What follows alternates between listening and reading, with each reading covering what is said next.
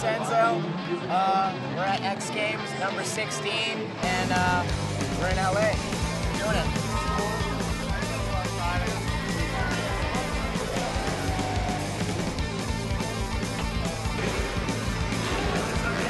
I'm a huge fan of the X Games, and it just seems more popular and bigger every year. It's amazing. It's honestly a dream come true.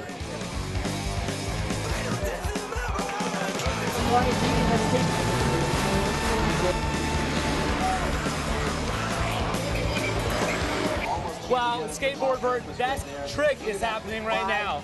We've seen some of the most technical and progressive tricks that anybody has ever seen on a half pipe. You know, there's a lot of history that's going to be written in the next five days. People are really going for it. It's gone, you know, beyond anywhere I could imagine. The young riders come in and keep pushing the veterans. That's what's so cool about the X Games in general.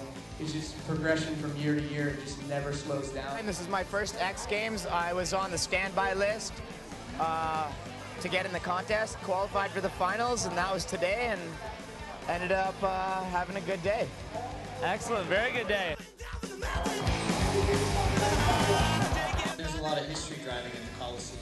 There's 600 horsepower cars. They go 0 to 60 in 2 seconds. Everybody hopefully will have their seatbelts on tight.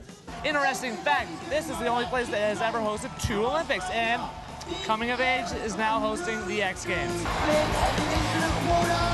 Absolute mayhem here. The sun is going down, and if you value your safety at all, you will rush to your cars and get out of here.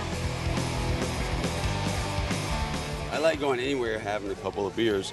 And I'm a huge fan of the X Games, so if you put those both together, you know, I'm gold. There's just like so many like magical people here. X Games 16 in LA is over. The best week of the summer. Progression in action sports and parties all week long. I hope you had a good time.